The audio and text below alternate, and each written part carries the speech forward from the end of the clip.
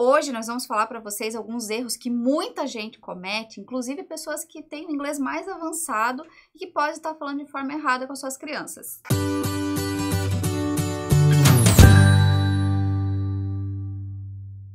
Hello, guys! A gente veio aqui trazer umas dicas essenciais para você que fala inglês e talvez você está cometendo alguns erros e não sabe por conta da cultura brasileira. A gente vê muito desses erros, inclusive aqui na internet. E se você não conhece, nós somos do Bebelingue. Aqui no nosso canal a gente compartilha a rotina bilíngue da Jojo, a nossa filha de 3 anos, que já fala inglês mesmo morando aqui no Brasil. Então, se você gosta desse tema, quer aprender com a gente, quer saber mais sobre isso, se inscreve aqui no canal. E, e para começar, eu quero começar com o que eu acho que é o pior de todos, que a gente erra muito, que eu errei e que eu vejo muita gente errando. Inclusive, eu já vi pessoas ensinando inglês, professores de inglês falando isso, e é o vamos brincar? Como é que você fala para criança quando você quer convidá-la para brincar? A maioria das pessoas traduz pro let's play? Pois é. O let's é muito danadinho no português. Por quê? Porque a gente aprendeu a falar vamos, e aí a gente usa essa pergunta para convidar. A gente, na verdade, tem a cultura de perguntar para convidar alguém para brincar. E aí, vamos brincar? Vamos comer sorvete? Vamos andar de bicicleta? E aí, quando está aprendendo inglês, você aprende que vamos é o let's. E aí acontece que você começa a traduzir. E aí você começa a usar o let's então para fazer pergunta. Mas presta atenção, o let's não é usado para fazer pergunta. O let's é sempre uma afirmação. Os americanos, os nativos, eles usam o, eles usam o let's em frases afirmativas para convidar. Só que é enfatizando, entendeu? De forma afirmativa. Vamos dizer, vamos brincar de bicicleta. Let's ride a bike. Então você afirma, let's ride a bike. Ou você vai dizer, let's eat something. Tá vendo? Você está afirmando. Só que tem uma solução. Eh, não pode fazer pergunta, mas o que você pode fazer é fazer uma pergunta que condiz mais ou menos aquilo que o brasileiro está afim de falar. Que é, por exemplo, o do you wanna, que é o do you want to. Aí você põe o verbo que você quer. Do you wanna play? Do you wanna dance? Do you wanna study? Do you wanna have some ice cream? Tá vendo? E aí não precisa usar o let's. Deixa o let's só para afirmar. Mas é difícil, eu mesmo tive muita dificuldade no Canadá para tentar não utilizar o let's e de vez em quando me pego falando, porque a cultura brasileira é tão forte que acaba atrapalhando a gente, ok? Então, então não precisa ter vergonha se é... você fala isso. É super comum aqui no Brasil você falar, as pessoas falarem assim, como eu disse, é, quem, até pessoas fluentes falam, então não sinta vergonha, eu até hoje tenho que me policiar, né? É, Rafa, então, é, com as crianças você usa assim, ó, let's study, joga uma afirmação, let's play outside, tá so, let's play. afirma, let's go for the next lesson. Yeah, let's go. ah, você tinha perguntado? Eu fiz, é, eu fui na brincadeira. Ah, então. eu... Ah, erros de gravação. Eu achei que você tinha falado certo, nem prestei atenção. So, let's go. Outra coisa que eu também errei, mas isso faz tempo, mas eu acho que é legal falar, porque eu também vejo hoje em dia na internet as pessoas falando Hello, peoples! Hum, peoples no plural? Uhum. Existe, Se referindo é, a pessoas. O tipo... detalhe é, existe a palavra peoples, sabia disso? Sim. Existe, isso, mas é povos, são culturas, são povos, tá vendo? Mas pessoas é people, people já está no plural. Aí você precisa saber que o singular, se people é plural, qual é o singular? É person. Então você pode falar one person, two people também existe persons, são pessoas. Então você pode falar one person, two persons, three persons, ou simplesmente people quando for o plural. E não use o peoples só quando você realmente quiser falar sobre povos, que é difícil. Mais um que é bem parecido com o peoples é o plural de fish. Hum. Eu também cometi esse erro e aprendi errando que eu fui brincar com a Jojo. Não, acho que não foi com a Jojo, foi na escola, quando a gente trabalhava na escola. E eu fui brincar ali com as crianças quando estavam na recepção de pescaria e eu falei fishes. Yeah. Aí tem um detalhe: one fish, two fish, three fish, four fish. É sempre fish no plural. Mas tem uma pegadinha difícil para brasileiro saber. Para mim foi difícil. Foi difícil. Porque eu ouvi uma música do Super Simple Songs, né? Exato. Falando One Little Fishes, na, na, na, Não one, é Não, Two yeah. Little Fishes. Isso, vocês entenderam. Hey, fishes. Aí, uau, fishes. Por quê? Porque peixe é fish, peixinho é fishy. Com Y no final, a gente vai deixar aqui, né? No uhum. caption.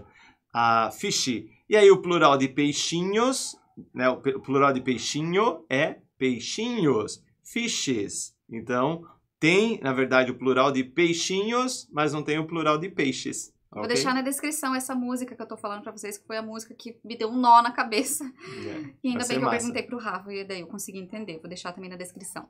Mais uma que eu também aprendi errando, que eu fazia com a Jojo. Vocês estão percebendo, né? Que eu fiz muita coisa errada e ainda continuo fazendo.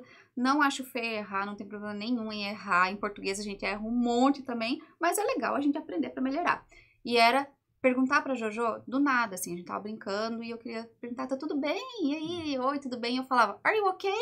É, o are you okay normalmente está associado se a pessoa está passando mal, está acontecendo uma situação em que ela não está legal. Aí você pode, are you okay? Você vai desmaiar, alguma coisa desse tipo. Então, se você quer perguntar se a, se a criança está ok, você vai realmente dizer, ei. Por é, exemplo, a Jojo caiu, hum, aí eu levei aquele susto e eu chego e pergunto pra ela, are you okay? Exato. Essa maneira é Com correta essa cara, de assim, utilizar. então você usa quando você vai usar essa cara. Are you okay? Não? Are you okay? não, desse jeito não. Desse Hum. jeito é, how are you? Como é que tá? Você vai perguntar o tradicional, que já conhece. Uhum. Are you happy? Are you sad?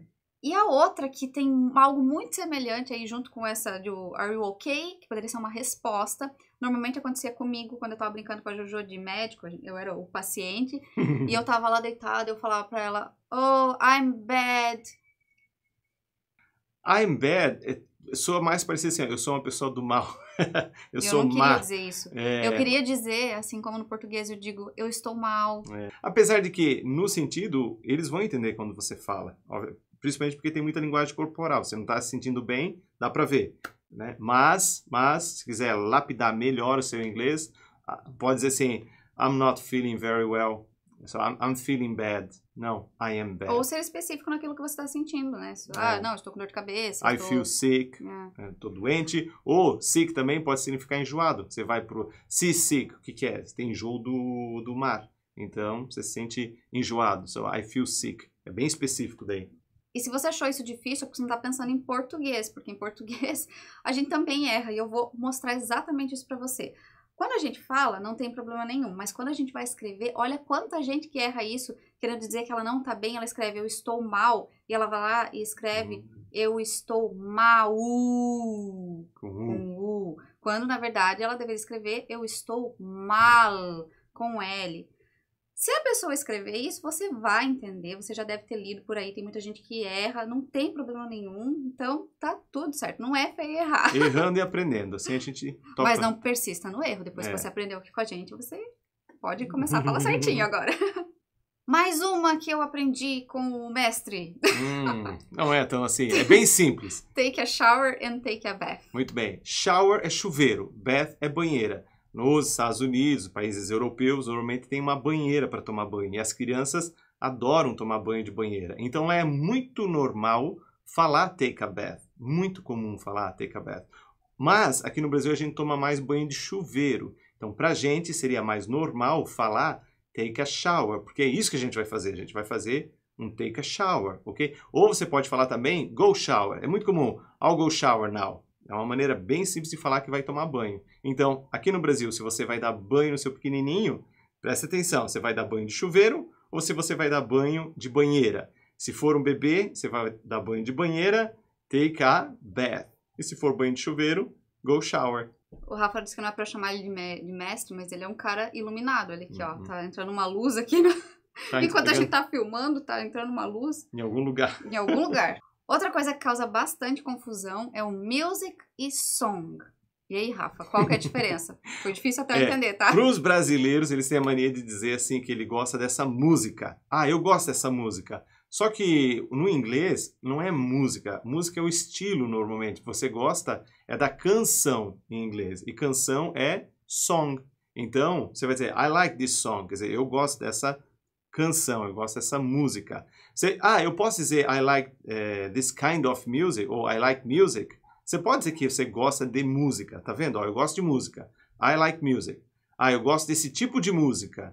I like this kind of music. Tá vendo? Agora, se você gosta dessa música, que é canção, você vai dizer I like this song. So, what is your favorite song? E para encerrar a sessão de erros que eu já cometi, que muita gente aí já cometeu, conta aqui nos comentários se algum desses você já É. cometeu aí. Não me deixa sozinha, por favor.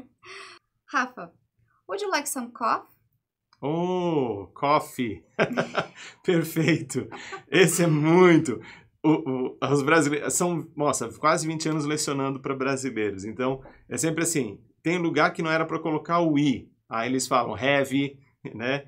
Eu Facebook. digo, não, é have, Facebook, internet, ok? Aí daqui a pouco vem o coffee, que é para tomar café, e eles falam cough. Aí eu, não, esse vai o i, gente. Coffee é assim mesmo, coffee. Cough é tossir. Coffee é café. E também você já deve ter visto café, né? Não tem o Hard Rock Café? Lembra o café? Uhum. Ah, poxa, mas esse fala café ou coffee? O que, que é isso, afinal de contas? Esse é, é, a cafeteria, na verdade, é o bar. Na verdade, nem é uma cafeteria, é o bar, ok? É um pubzinho, vamos chamar assim, é um café. Café é um jeito mais pop de chamar um, um coffee place. Um, é, é tipo a palavra gourmet. É, essas, coisas essas coisinhas. Assim. Exato. Então, café tem é uma palavra importada, provavelmente é francesa, ok? É importada dentro do inglês. Então, esse é café. So, you have, you cough, you drink coffee, no? And when we finish this lesson, we're gonna go to a café. Então, esses foram muitos dos erros que eu cometi, que muita gente comete. Mais uma vez, reforçando, não tem problema se você falou errado, não precisa ter vergonha. Vamos aprendendo e melhorando, né, Rafa? Esse é o nosso intuito aqui no canal, é trazer mais conhecimentos, mais coisas que nativos costumam falar, que a gente às vezes acaba ou interpretando errado, ou até mesmo falando errado. E você, você comete muitos erros? Você já se pegou cometendo e falando, aprendeu a falar alguma coisa e continuou falando errado? Ou tá difícil para mudar? Deixa aqui nos comentários, de repente isso vai valer para o nosso próximo vídeo, não é verdade? E olha, se você voltar esse vídeo para analisar, você vai ver um monte de erro nosso aqui ó, em português. Ah, meu e Deus. aí? Nem fala meu português, Deus o livre. Gente, curtiu o vídeo? Deixa um like, inscreve no canal and... See you next video. Bye bye. Bye.